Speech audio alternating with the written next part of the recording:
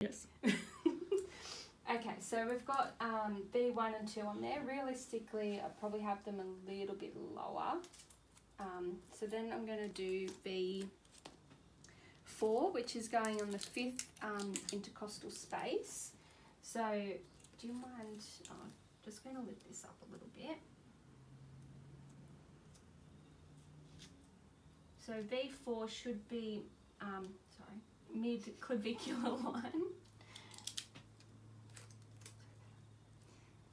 And then you want to put V6 um, in the mid axillary line.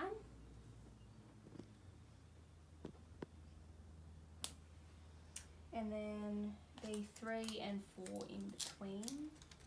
So I probably have V3 up a little bit higher as well, but for the patient's modesty, I'm just going to pop it um, next to V3 there as well.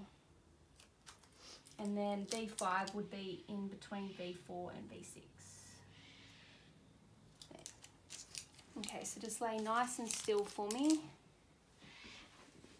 So obviously making sure that the patient doesn't have any watches, no mobile phones, um, smart watches, anything like that.